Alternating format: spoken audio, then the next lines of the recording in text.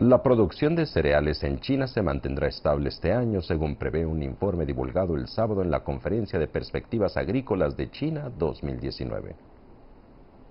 La superficie total de siembra de arroz, trigo y maíz se mantendrá en 95,8 millones de hectáreas, mientras que la de soja podría aumentar unas 667.000 hectáreas, según el Instituto de Información Agrícola adscrito a la Academia de Ciencias Agrícolas de China. El reporte pronosticó que los precios de los productos agrícolas se mantendrán estables en líneas generales. Sin embargo, existe un mayor riesgo de fluctuación de los precios de ciertos tipos de productos, entre ellos la carne de cerdo.